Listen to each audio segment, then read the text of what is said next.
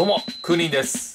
今日はですね、クーニンズの試合前アップについてご紹介したいと思います。クーニンズ、年々変わってます。創設1年目はですね、とにかく全員で全体アップすることにこだわっておりました。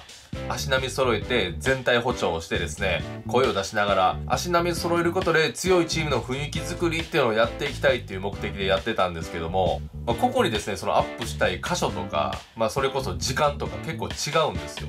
まあ、怪我しやすい人間とは入念にアップしたいですし、いろいろとケアしたい場所も違ってくると。まあ、そういう提案を受けまして、試合前のアップを変えました。集合時間もですね、試合開始前の1時間前集合だったんですけども、1時間半にしまして、来たらすぐにミーティングをして、今日の試合について喋ると。俗にファーストアップって呼んでるんですけども、ファーストアップは各自の調整。その日のコンディションに合わせて自分のやりたいように体を作っていくと。で、全体でやるのはですね、セカンドアップから、そのように変えました。で、最近はですね、率先して前田くんがアップのスケジュールを決めてくれるので、みんなそれに沿って、ま、タイムキーパーを設け、やってるような形です。それから試合中の怪我っていうのは極力減ってきましたね。まあ、僕が捻挫したのはありますけども、まあ、カズローが肉離れを起こしたような、そういう大きな怪我はなくなってきましたので、アップの効果は出てるのかなと。今日はその内容を紹介したいと思います。何日か分かの映像を1個にまとめてますので、多少背景変わりますけれども、流れ自体はしっかりと編集しましたので、ご覧ください。はい、それではこちらのメニューを今からやっていきます。集まってすぐに集合ミーティングし、それから各自散らばって個人アップ。ファーストアップ。誰よりも準備が早いのが起きた。いち早く入念にストレッチを行います。続いてピッチャーの若林もストレッチ。股関節の可動域を意識します。ちなみにストレッチゴリポンがやってるのは見たことないです。場所にもよりますがリオは遊び感覚でカウンタースイングで打ち込んだりしますストレッチ系が終わるとダッシュするメンバーが多いですこちらはクーニンズの仲良し4兄弟長男は35歳の中洲次男は32歳西下。なお現在中洲と西下は熾烈なインスタのフォロワー合戦をしております。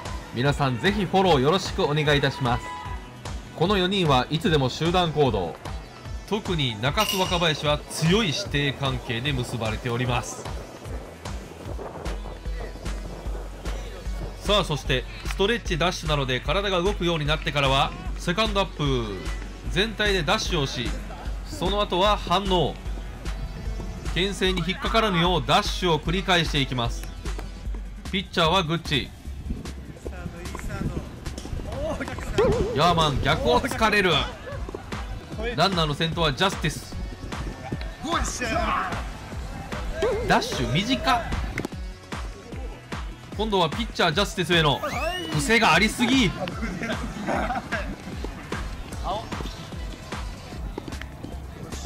や引っかかる。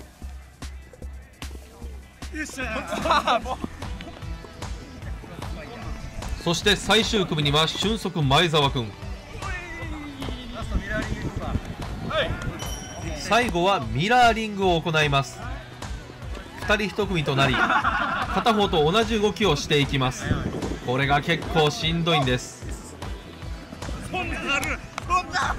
こちらはテルズッキー。瞬発力が養われます。そしてこの日たまたまペアがいない前澤君は1人でサイドステップ。跳ねてました。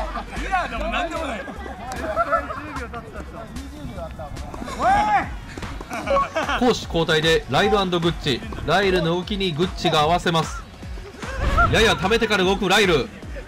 そしてここで腕立て伏せ。しかしロンリー前田が走路を妨害。ミラーリングは10秒から15秒程度行います。試合前に素早さアップのトレーニング。その後キャッチボール。キャッチボールは同い年でやることが多いです。ライルと同い年のズッキー。若と同い年のゴリポン。キャッチボールは助走したり遠投する動作もまちまちです。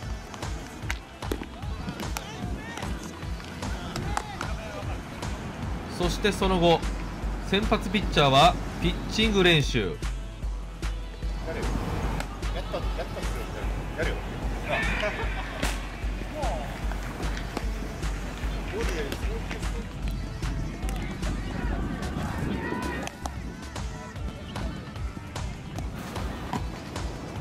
り野手はサイドノック。特にイカイダー西下は入念に受けます外野手の前澤君も乱入。カズローは穴あきボールを使って最終調整。その後試合開始15分前ミーティングでサインや徹底事項の確認をします。その後の試合まではトスやキャッチボールおのおのの時間を過ごします。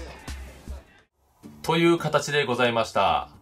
見てもらったら分かるようにですね、アップする中でコミュニケーションをとってまして、やっぱり仲いいメンバーが固まってるんですけども、仲いいメンバーの幅っていうのがですね、クーリンズの場合は結構広いのかなっていうのが印象です。もう35歳の中洲と21歳の若林あたりがですね、仲いいとか、やっぱこれって本当草野球ならではの良さかなというふうに思いますので、まあそういう年齢幅が広い中でですね、アップをして体を作っていってますので、やっぱりファーストアップはですね、各自その年齢に応じてもですね、アップ時間で変わってくると思いますので、まあそういった意味ですごくいいんじゃないかなと思ってますので、皆さんもですね、ファーストアップ、セカンドアップ、ぜひ取り入れてみてはいかがでしょうか。怪我も減ります。おそらく。ということで今日の動画は以上です。チャンネル登録してね。